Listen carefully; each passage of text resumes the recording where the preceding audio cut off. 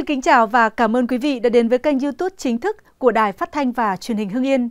Chúng tôi luôn cập nhật những thông tin mới nhất, nóng nhất trong suốt 24 giờ qua để gửi đến quý vị. Ngay sau đây là phần nội dung chi tiết. Mới đây, Tòa án Nhân dân tỉnh Phú Yên xét xử sơ thẩm tuyên phạt bị cáo Phạm Đình Cự, cựu Chủ tịch Ủy ban Nhân dân tỉnh Phú Yên và bị cáo Đỗ Duy Vinh, cựu Giám đốc Sở Tài chính tỉnh Phú Yên cùng 3 năm tù, nhưng cho hưởng án treo cùng về tội vi phạm quy định về quản lý sử dụng tài sản nhà nước, gây thất thoát lãng phí. Tại phiên tòa, bị cáo cự có dấu hiệu sức khỏe không tốt nên được hội đồng xét xử cho phép ngồi trong quá trình xét xử. Ngay câu hỏi đầu tiên của hội đồng xét xử về hành vi của mình như cáo trạng nêu, bị cáo cự cho biết đến khi bị cơ quan điều tra mời lên làm việc mới biết mình đã sai. Bị cáo cự nói, bị cáo ý thức được sai phạm của mình như cáo trạng, bị cáo cũng đã khắc phục toàn bộ thiệt hại do hành vi của mình gây ra. Hội đồng xét xử hỏi, biết sai sao vẫn làm? Trả lời, Cựu Chủ tịch Ủy ban Nhân dân tỉnh Phú Yên cho rằng thời điểm đó kinh tế tỉnh Phú Yên khó khăn, do vậy bị cáo rất muốn phát triển kinh tế cả tỉnh nói chung và ở đường Hùng Vương, thành phố Tuy Hòa nói riêng. Tương tự, bị cáo Vinh cũng thừa nhận sai phạm như cáo trạng nêu. Bị cáo Vinh trình bày bị cáo rất hối hận vì những sự việc xảy ra. Bị cáo cũng đã tác động gia đình bồi thường thiệt hại nên mong hội đồng xét xử giảm nhẹ hình phạt. Hội đồng xét xử cho rằng hành vi của các bị cáo đã xâm phạm đến chính sách quản lý đất đai và hoạt động đúng đắn của cơ quan nhà nước về quản lý sử dụng tài sản công nên cần xử phạt tương xứng với tính chất hậu quả do hành vi phạm tội đã gây ra. Tuy nhiên, trong quá trình điều tra cũng như tại phiên tòa, các bị cáo đều thành khẩn khai báo ăn năn hối cải. Quá trình điều tra, mỗi bị cáo đã tự nguyện nộp bồi thường hơn 716 triệu đồng. Công ty Pimefaco nộp hơn 8,7 tỷ đồng, tổng cộng là hơn 10,1 tỷ đồng. Bản thân hai bị cáo quá trình công tác cũng đã có nhiều thành tích xuất sắc, được nhiều cấp tặng thưởng huân chương, kỷ niệm chương, là con em gia đình chính sách nên được hưởng các tình tiết giảm nhẹ theo luật định. Từ những nhận định trên, hội đồng xét xử cho rằng việc tuyên phạt các bị cáo 3 năm tù nhưng cho hưởng án treo là đúng người đúng tội, thể hiện sự nhân đạo của nhà nước và đúng với chính sách khoan hồng của pháp luật. Theo bản án sơ thẩm, dự án Trung tâm Kinh doanh Dược Mỹ phẩm và Dịch vụ Y tế Phú Yên do công ty Pimefaco làm chủ đầu tư, được Ủy ban Nhân dân tỉnh Phú Yên giao đất có thu tiền sử dụng đất từ tháng 9 năm 2007 và bàn giao đất trên thực địa tháng 9 năm 2007. Đến tháng 1 năm 2013, doanh nghiệp không triển khai thực hiện dự án thuộc trường hợp thu hồi đất theo quy định tại khoản 12, điều 38 Luật đất đai năm 2023.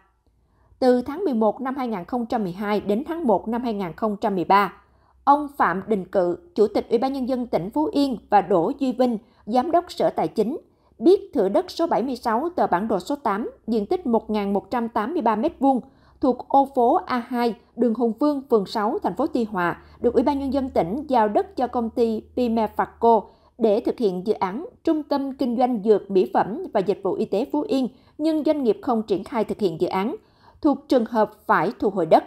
Dù vậy, bị cáo Phạm Đình Cự và Đỗ Duy Vinh vẫn làm các thủ tục cho công ty Pimefaco chuyển nhượng quyền sử dụng đất của thửa đất này cho ngân hàng ngoại thương, chi nhánh Phú Yên không đúng quy định của pháp luật, gây thất thoát tài sản nhà nước số tiền hơn 10,1 tỷ đồng.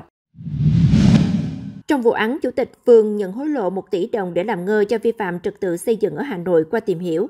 Việc này liên quan đến công trình không phép cao 2 tầng, có mặt tiền hàng chục mét nằm trên đường Xuân Tảo, phường Nghĩa Đô. Có thể thấy công trình khiến chữ Mạnh Hùng bị khởi tố tạm giam nằm trên một trong những trục đường đẹp nhất của quận Cầu Giấy, Hà Nội. Công trình kiên cố này được thi công cách đây vài năm. Sau đó, trong quá trình xây dựng, lực lượng chức năng phát hiện công trình không phép nên tạm dừng thi công từ thời điểm vi phạm được phát hiện cho đến nay. Nhìn từ bên ngoài, công trình này do tạm dừng thi công từ lâu nên đã nhúm màu thời gian, một số vị trí tường bên ngoài xuất hiện rêu. Theo ghi nhận tại công trình, hầu hết hệ thống cột chịu lực, dầm mái của công trình được làm bằng những thanh thép lớn. Do hệ thống thang máy chưa được lắp đặt nên chỉ có thể di chuyển bằng hệ thống cầu thang sắt nếu muốn lên tầng 2. Bước đầu, Công an thành phố Hà Nội xác định ông Hùng đã nhận hối lộ 1 tỷ đồng để làm ngơ cho công trình xây dựng, không có giấy phép trên diện tích 1.400 m2, được tồn tại tiếp tục thi công và hoàn thiện. Công an thành phố Hà Nội đang mở rộng điều tra làm rõ trách nhiệm của ông Hùng và những người liên quan khác trong vụ án này. Theo Công an thành phố Hà Nội, thời gian qua, các vi phạm về trật tự xây dựng trên địa bàn thành phố diễn ra với nhiều mức độ khác nhau, tiềm ẩn phức tạp, gây dư luận xấu trong nhân dân, ảnh hưởng không nhỏ tới công tác quản lý nhà nước trong lĩnh vực trật tự xây dựng đô thị.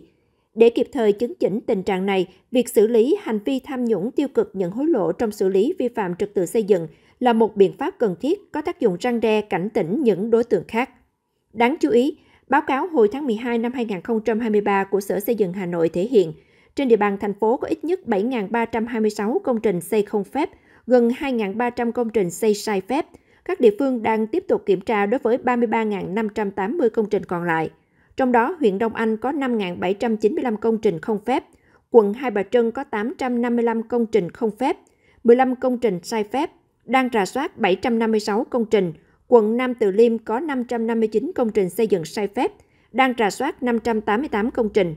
Quận Cầu Giấy có 433 công trình xây dựng sai phép, quận Thanh Xuân có 353 công trình xây dựng sai phép, đang rà soát 3.241 công trình. Quận Ba Đình có 268 công trình xây dựng sai phép, 1.681 công trình đang rà soát.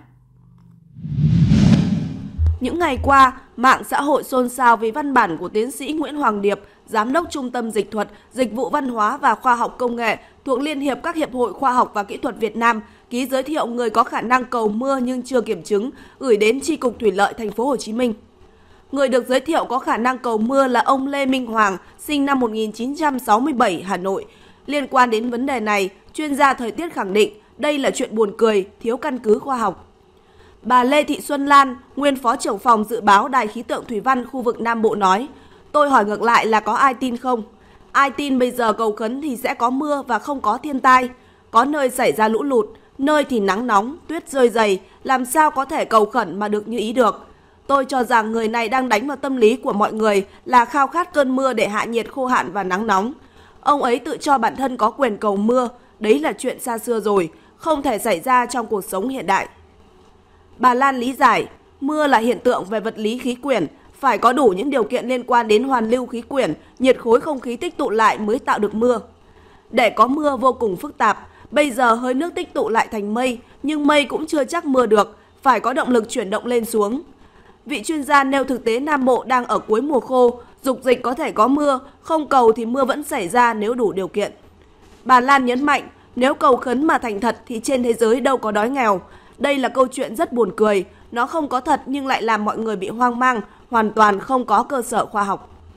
Cùng quan điểm với bà Lan, ông Lê Đình Quyết, trưởng phòng dự báo của Đài khí tượng Thủy văn Nam Bộ cho biết, dưới góc độ khoa học, thời tiết chưa thể có mưa ngay, ban ngày trời nắng nóng, khô hạn còn tiếp diễn. Nếu có thực hiện công nghệ làm mưa nhân tạo cho Tây Nguyên hay Nam Bộ vào lúc này cũng rất khó thành công. Ông Quyết nói, còn những năng lượng siêu nhiên thì tôi không có kiến thức, không luận bàn. Cá nhân tôi không tin ông Hoàng cầu mưa được. Ông Lê Minh Hoàng cho biết, trước đây từng cầu mưa cho các tỉnh thành như Sơn La, Hà Nội, Bến Tre, Quảng Nam và đã nghiên cứu về việc biến đổi khí hậu từ mấy chục năm nay. Tuy nhiên, ông Hoàng không đưa ra được bất kỳ chứng cứ nào chứng minh cho tuyên bố này. Về nhiều ý kiến cho rằng việc cầu mưa rất phi lý ở thời điểm Nam Bộ đang nắng nóng đỉnh điểm. Theo ông Hoàng, ông chỉ đặt vấn đề cầu mưa để giúp người dân, còn chuyện mọi người có tin hay không, ông không quan tâm. Khi được hỏi về thủ tục và lễ vật để cầu mưa, người này cho biết thủ tục không có gì dườm ra và ông chỉ làm một mình. Ông Hoàng cũng khẳng định nó giống kiểu một mình cầu mưa và tập trung hướng về cái tỉnh đang bị khô hạn, không cần lễ vật gì hết. Nói về lý do được tiến sĩ Nguyễn Hoàng Điệp ký văn bản giới thiệu về người có khả năng cầu mưa cho thành phố Hồ Chí Minh nhưng chưa kiểm chứng, ông Hoàng cho rằng ông chỉ là công dân bình thường, không có tư cách pháp nhân nên cần nhờ đến các đơn vị giới thiệu mình. Ông Hoàng nói, nhiều người muốn làm điều tốt nhưng không đúng pháp luật. Tôi muốn chính thống nên mới xin giấy giới thiệu và cho biết ông chuẩn bị vào thành phố Hồ Chí Minh. Ông Hoàng khẳng định, tôi vào để giúp cho người dân đỡ vất vả. Tôi chỉ quan tâm đến chuyện làm gì cho bà con bớt khổ. Trước đây, tôi đi cầu mưa, chỗ nào tôi đi cầu cũng được, trong vòng 4 ngày sau là có mưa. Mới đây, trong cuộc họp báo thường kỳ tháng 1 năm 2024 do Bộ Tư pháp tổ chức, đã có thông tin sơ bộ việc thi hành án vụ Trương Mỹ Lan. Tòa án đã buộc bị cáo Trương Mỹ Lan phải bồi thường hơn 673.000 tỷ đồng cho SCB. Vậy bản án này sẽ được thi hành án như thế nào? Theo đó, ngoài trách nhiệm hình sự là mức án tử hình, bị cáo Trương Mỹ Lan buộc phải bồi thường hàng trăm ngàn tỷ đồng cho SCB. Số tài sản bị kê biên trong vụ án này là khổng lồ, lên tới hàng ngàn bất động sản. Khối lượng công việc phải thi hành cũng rất lớn. Vậy cơ quan thi hành án có xây dựng kế hoạch gì cho việc thi hành án? Có khó khăn gì không? Ngoài ra, bà Trương Mỹ Lan còn liên quan đến một vụ khác về trái phiếu với hàng chục ngàn bị hại.